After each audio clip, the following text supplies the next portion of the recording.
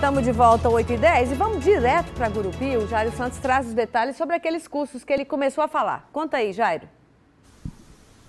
É isso mesmo, Josielma. São 50 vagas para o curso de produção de cosméticos e também combate a incêndios. Quem está ofertando é o curso de Química Ambiental da Universidade Federal do Tocantins, campus Gurupi. O professor Lucas dos Santos está aqui ao vivo com a gente, professor do curso de Química Ambiental, para falar como é que faz para fazer a inscrição. Começou essa semana e segue até o próximo dia 20, né? Bom dia, professor. Bom dia, Jairo.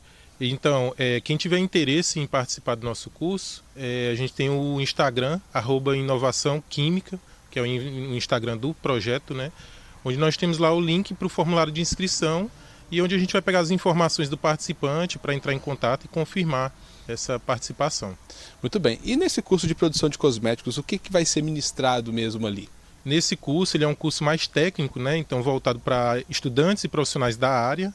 Então a gente vai fazer uma parte prática mesmo no laboratório de produção de creme hidratante, análise de qualidade e a gente vai ter uma parte com o pessoal do Corpo de Bombeiros, né, com a equipe do Corpo de Bombeiros, em técnicas de combate a incêndio, já que são cursos que têm é, essas, esses uhum. trabalhos que têm um certo risco, né? Então, que eles aprendam a combater incêndios, especialmente voltados à questão laboratorial, né, industrial.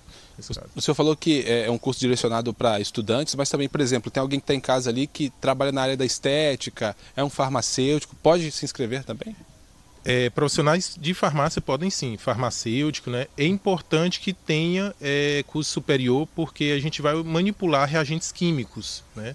Então, profissionais que têm é, alguma habilitação nessa área. Então, farmacêutico também, a gente tem egressos aí, né? De cursos de química, cursos de áreas de engenharia, então áreas afins que estão relacionados a, a esse, essa questão de cosméticos. Né? Tem um link no arroba, só dá o arroba para a gente é, facilitar o acesso. O arroba inovação química, né, que é o, o perfil do Instagram do projeto, né, que a gente vai ter esse mini curso e outros futuramente, né, ainda esse ano. Muito bem, obrigado pela informação e agradeço. pela participação aqui do Bom Dia Tocantins.